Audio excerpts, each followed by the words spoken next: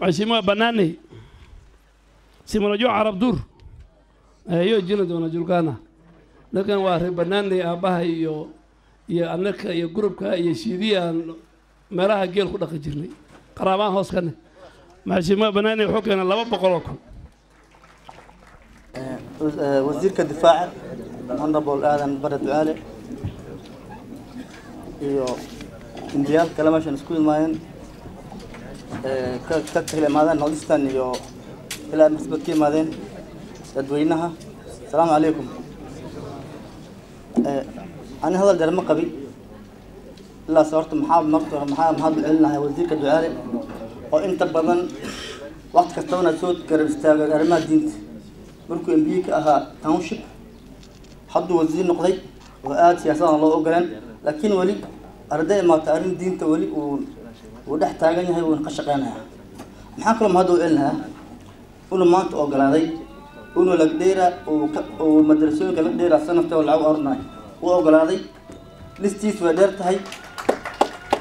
Ibaatoshkiisu way badan laakiin lagdheera uu nagu suurmari taa ayana mahad baan ugu celinayaa maxaa kaloo mahad u celinayaa dadweynaha reer gaaris saa diin diinta u soo garab istaagteen.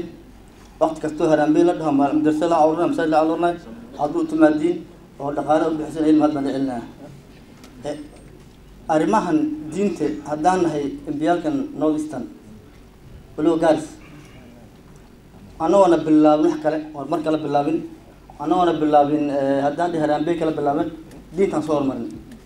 Taa ay maxay tusaysaa inaan u taagannahay arrimaha diinta harihim aan u taagannahay arrimaha aada aada inta badan waxaa aada iyo aada maarata horumar u ahana waa arrinta ninkaasi ducaale asagaan loo duceeyo ilaahay inuu maaragtay xilkan uu hayo ee difaaca maanta kenya anaga nafteena dhibaatin baa jiraan maxaa jirta security baa jiraan waxaa baa jiraan asana naftiisa waa dad mar kastoo hataa madaxweynaha u tagno oo dar hato muxuu dhahay inigaa nagu wareejiyay madaxda tiin difaac.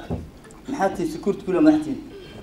Marka muxuu ammaan ku xisaabtanaanaya weydiina ninkaas hala weydiiyo markaas nafta ducuu baahan shaqada iyada inuu ilaah u raqiisiyo oo dhibaatooyinkan ammaan darin haystaan sifa looga hortago u duceeya.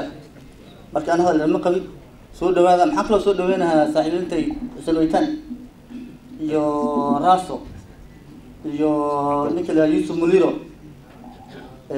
chairmankayda committeedayda ee dhahaan meja meja meja meja bashir iyo wasiirka iyo iyo mbigan mbiga wajiya south oo aada u ganaysin oo wiilka reer marka markaan soo dhawaa soo dhawaadana leeyahay asalamu calaykum raxmatullahi wabarakaatu